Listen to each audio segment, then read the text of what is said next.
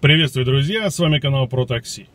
Обычно я читаю все комментарии под своими роликами, и на некоторые из них даже отвечаю, но не всегда удается развернуто ответить а, непосредственно текстом, да, под комментарием человека, задавшего вопросы. Приходится выпускать отдельный ролик для ответа на эти самые комментарии. Сейчас именно такой случай. Мы поговорим о приоритете. Я расскажу, как это работает.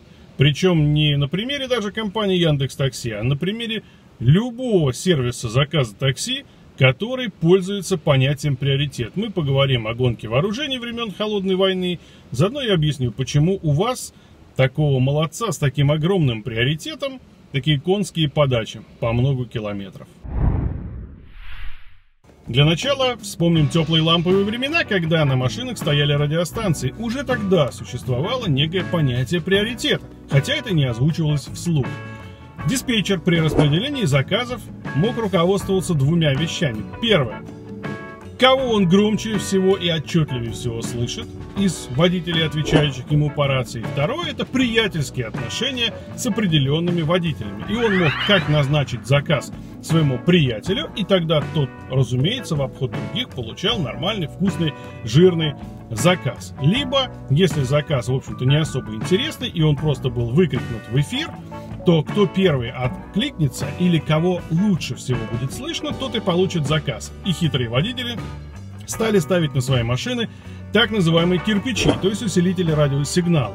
Если выходная мощность радиостанции машины номер один, например, составляла 4 ватта, а машина номер два составляет 100 ватт, потому что она оборудована кирпичом, то, разумеется, диспетчер абсолютно не услышит машину с радиостанцией в 4 ватта, услышит только 100-ваттного чудака.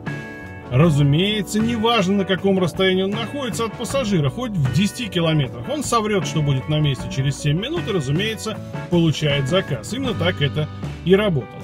Но с приходом агрегаторов все изменилось. Агрегаторы старались всегда назначить пассажиру самый ближайший автомобиль. Почему? Потому что именно этим они и конкурировали друг с другом, а также со старым теплым ламповым такси. Время подачи машины это критично важная составляющая. То есть, если у теплого лампового такси машину ждать 20 минут, у агрегатора А машину ждать 10 минут, а у агрегатора Б машину ждать 2 минуты, разумеется, пассажиры чаще будут выбирать агрегатора Б, потому что у него самое короткое время подачи машины. И так и было. Машины назначались по расстоянию, на котором они находятся от пассажира. Чем ближе машина, тем быстрее она приедет, и, соответственно, ей первый предлагался заказ. И только в случае, если она отказывается, то тогда заказ передавался машинке подальше. А если она отказывается, то еще более далекой машине. Это и видит пассажир в своем приложении, когда у него там происходит так называемый поиск автомобиля. Но так продолжалось недолго. Агрегаторы решили, что было бы неплохо, если бы водители, ну скажем так, обклеивались, брендировали свои автомобили, то есть носили на бортах своего автомобиля рекламные материалы агрегатора и стали предлагать так называемую золотую корону. Про серебряную мы сейчас не говорим, она именно такая, только предлагалась ИПшникам, а работает так же, как золотая. Так вот, предлагали золотую корону, и градаций по сути было две, либо автомобиль брендирован, либо нет. Где-то в регионах, например, как в Твери, градаций было три.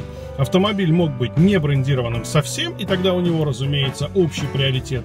Автомобиль мог быть оборудован лайтбоксом, либо наоборот обклейкой без лайтбокса.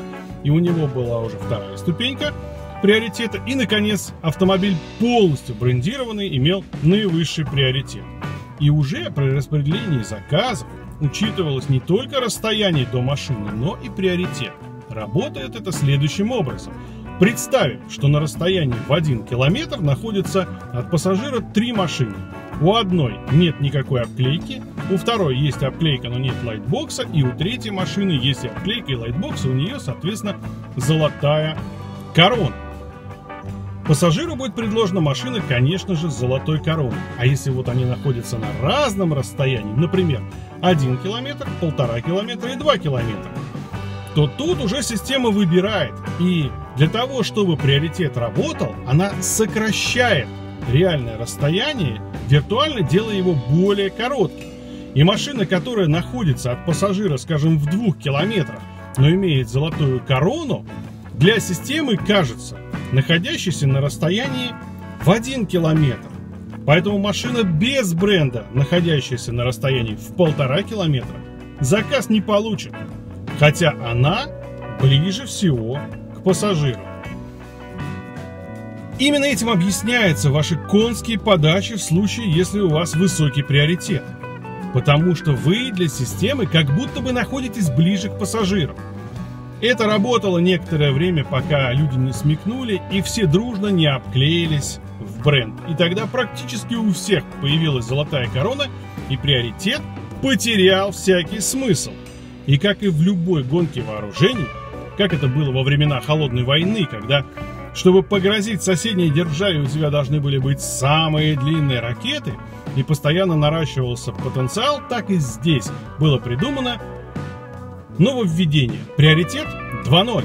То есть приоритет уже выраженный в цифрах, поэтому он имеет не 2 или 3 градации, то есть нет золотой короны, есть золотая корона, а может быть 20 градаций. Например, у тебя приоритет 0, а может быть приоритет 20. Нулевой приоритет – это базовый стандарт. Дальше, за обклейку, за то, что у тебя продезинфицирована машина, за наличие термопакетов, за длительность работы в сервисе, за э, еще какие-нибудь заслуги перед сервисом, тебе начисляются определенные баллы приоритета. И чем выше у тебя приоритет, тем ближе ты виртуально находишься к пассажиру и больше шансов, что именно ты получишь этот заказ. И вновь, чем больше у тебя приоритет, при прочих равных, тем дальше тебе ехать до пассажира. Потому что не будь у тебя приоритета, тебя бы назначили самому близкому пассажиру. Не сейчас, так потом. Который э, появится э, на игровом поле и захочет куда-то ехать. Но сейчас есть только один пассажир. И на него, например, 20 претендентов. Они находятся на разном расстоянии. И будет назначен тот, у кого виртуальное расстояние до пассажира меньше. А зависит оно именно от приоритета. Чем выше приоритет, тем дольше тебе ехать до пассажира. Теперь расскажу, почему эта гонка вооружений не имеет смысла. Все будут пытаться получить наибольший приоритет. Все будут брендироваться. У них будет расти время работы с сервисом, и через некоторое время они получат еще там пару баллов приоритета. За заправки через таксометр пару баллов приоритета, за дезинфекцию, за что-нибудь еще компании придется придумывать все более, более, более, более, более высокие уровни приоритета для того, чтобы водители как-то друг от друга отличались, иначе все выполнят все условия, и у них снова будет равный приоритет. Согласитесь, нет никакой разницы. На карте находится 100 машин с приоритетом 0 или 100 машин с приоритетом, например, плюс 20. У них одинаковые приоритеты, и вновь будет назначаться только самое близкое. Разумеется, никакого смысла в этом приоритете не будет. Итак, резюмируем. Резюмируем. Подводим итоги для тех, кто досмотрел до этого момента. Чем выше приоритет, тем дольше тебе ехать до пассажира. Чем меньше приоритет, тем меньше тебе ехать до пассажира. Так почему же приоритет а, имеет значение? Почему же за ним гонится? Все просто. Когда заказов становится мало, вот тогда лучше уж съездить подальше за пассажиром, чем не получить никакого заказа. В часы наибольшей нагрузки на сервис, в пиковые часы, от приоритета нет абсолютно никакого толка, он может даже вредить. Вам будут назначаться дальние подачи. А вот если заказов мало, то при наличии приоритета вы получите заказ, а без приоритета нет. Но это игра с постоянным повышением ставок. Рано или поздно она либо упрется в потолок, либо нужно будет добавлять дополнительные уровни приоритета. На этом у меня все. Не дайте себя обмануть. До встречи.